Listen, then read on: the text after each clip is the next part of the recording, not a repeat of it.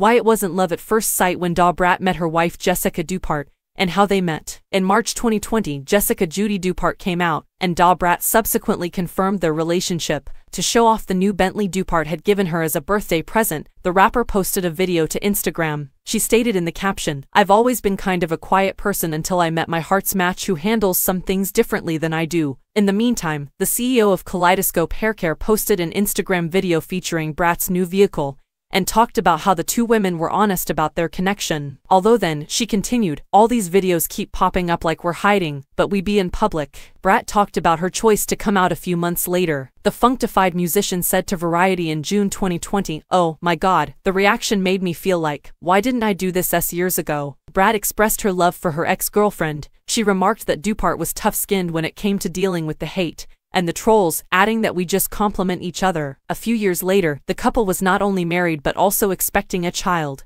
The Da Brat Loves Judy actor first had her doubts about having kids, but since getting together with Dupart, her perspective has changed. They then seem to be the ideal combination. However, their initial encounters were anything but pleasant. At a gathering in Atlanta in 2017, Da Brat met Jessica Dupart, the woman she would later wed, but that is not the whole tale the singer of Sittin' on Top of the World performed at a Miracle Drops event organized by Dupart's Kaleidoscope Hair Care range, and she was anything but smooth. At first, I was very anxious and afraid. According to Rickey Smiley Morning Show, she said as much in a 2021 episode of Growing Up Hip Hop Atlanta. I would hide behind furniture when she would talk to me, she added. Dupart himself acknowledged that initially, there weren't exactly sparks flying. The phrase T wasn't love at first sight at all although they did exchange phone numbers and decide to link soon. Unfortunately, there was a misunderstanding, as Brat thought Dupart just wanted to meet up for business while Judy thought it was a casual meeting. After their unpleasant encounter, the Give It To You rapper stopped contacting Dupart for months, as she recalled on GUHHA. There were still awkward moments once they permanently connected,